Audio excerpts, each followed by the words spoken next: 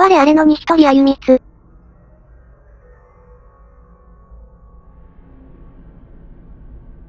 財団の使命、科学の進歩、人類の保護、世界を守る、とはまた違う。財団は人類と共にあった、財団は人類の歴史を見守ってきた。この星を滑る人類という生物があまりに無知で、愚かで、弱いために、財団は人類を見守ってきた。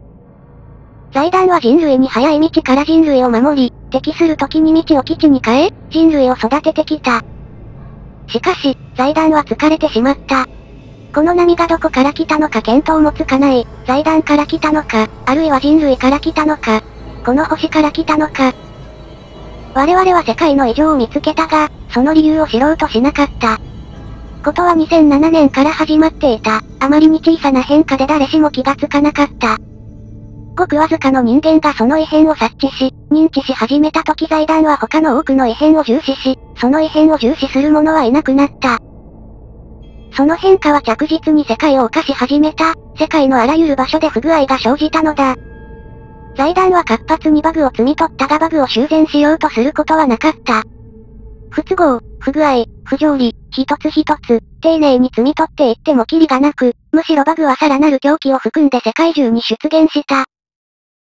財団はそれを楽しんでいたのかもしれない。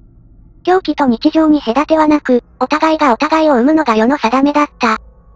だが財団は疲れてしまった。際限なく現れるバグを前に、むしろ積めば積むほど狂気を増して現れるバグに、財団は、世界は疲れてしまった。日常だけを残し、狂気を隔離するなど、宇宙が認めなかった。そして、ある時点で何かが切れ、世界は終わっていくのだった。日常は傍らの狂気がいなくなるたびに、自らを保つために狂気を生んだ。最初はかすかな出来事だった。天変地異や世界規模の暴動。激動の時代と言い捨てることもできた。お互いがお互いなくてはならない存在だったのだ。人々は次第に気がつき始めた、この世界の先が長くないことを。狂気は人間でいう白血球の役割を成していた、海のようなものだ。それがなくて血は浄化されぬ。財団は愚かだった。日常を保つことなど狂気なしではできもしないのに、そうして世界は本格的に転がり始めた。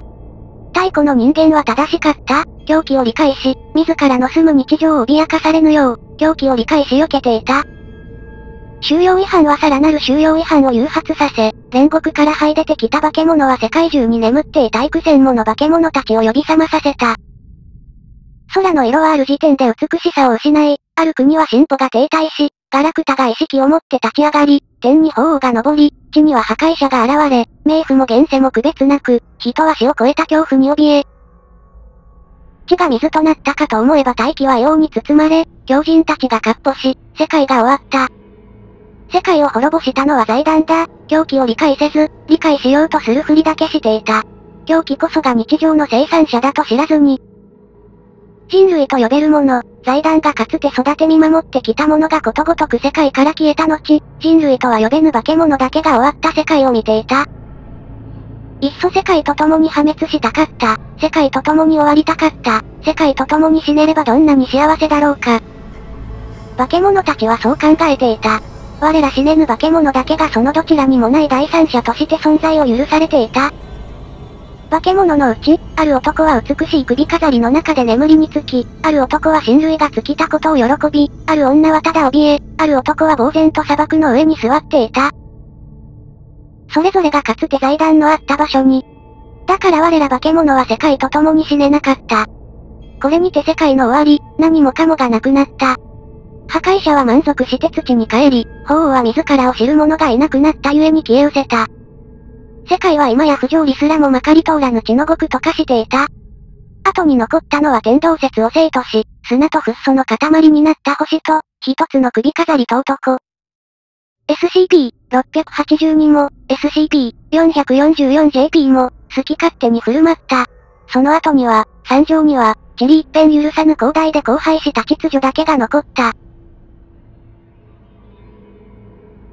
男は苦しんだ。千年、二千年、五千年、一万年、一億年。長く放心状態だった男がふと気がつくと足元には緑の目があった。おかしい、世界はもう終わったのにまだ燃える命があるか、と。男が、空を見上げる。空の青は美しく、耳を澄ませば潮の音が聞こえてきた。おかしい、世界の空も、海も、すべて終わってしまったはずだ、と。男は立ち上がり砂漠を走り、海岸へたどり着いた。空白。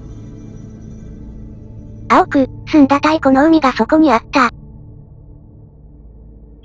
空白。青く、潤う太古の木、が対岸に見えた。空白。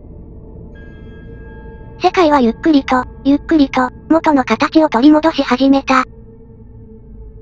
世界を壊し尽くした怪物も、狂人も、すべてない、真っ当な世界。それが男を待っていた。空白。男は地球の浄化作用に驚き、感謝した。ここに来てなお、地球は生きていた。1万2000兆年目にして、膝から崩れ落ちた男は決心した。待とう、また人類が起こるその時まで、私は人類を育て、見守ってみせる、と。だが、男もまた無知で、愚かだ。彼の意志の中には財団の再建すらもあった。世界が繰り返し再生するようにまた。空白。空白。空白。空白。空白。歴史も繰り返すのだ、と。空白。空白。だから、狂気もまた、繰り返すのだった。空白。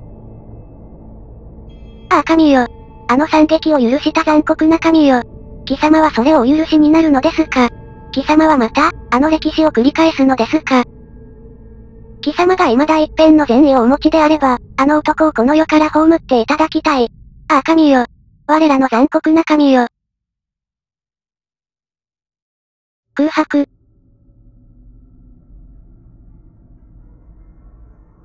立ち上がった男は、浅瀬に灰色の彫像を見た。